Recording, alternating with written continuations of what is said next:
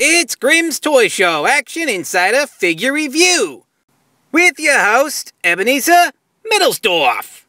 And today I'll be reviewing the red hooded Rhode Island rapist, Sin Cara. There's no way out of a red hooded rape. Uh oh, Sin Cara's looking awfully rapey. He wants me to read the bullshit on the back of the box quick. Get the fuck out of here. Also, down here, look, you can see the other four figures in the set and they all build a red suited rapist, Johnny, Team Johnny Laurinaitis. He's part of a new Build a Fucker four figure set. I wouldn't want to see this red hooded vampire looking rapist coming at me in a dark alley, ready to whip out his wiener. Oh my god, it's worse than I thought. After he rapes his victims, he beheads them. Ugh. He comes with this really cool looking long white and red coat here. It's got some gold trim on it.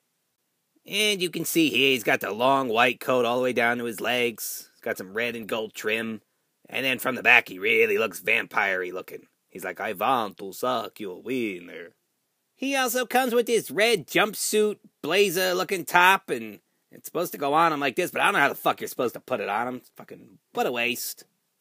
He's got white bolts of shit shooting down his legs here. And more white lightning bolts of shit back here with a little claw up here on his ass. This is his face. His mask makes him look like a Japanese flag. And this is the back of his head. And holy sheep shit on a shingle with gefilte fish off the grill. He doesn't even have one botched paint app on the entire figure. Man, I finally got lucky with a non botched Sin Cara in this scene, I would say, CM Punk, look out! It's the red hooded Rhode Island rapist! Beep! Alright, now it looks like we're only missing the Yellow Ranger and the Pink Ranger. Coming soon. Nailed it. Coming soon to a theater near you, the Rhode Island Rapist Sin Cara in Botch to the Future. Please like this video, leave a comment, and subscribe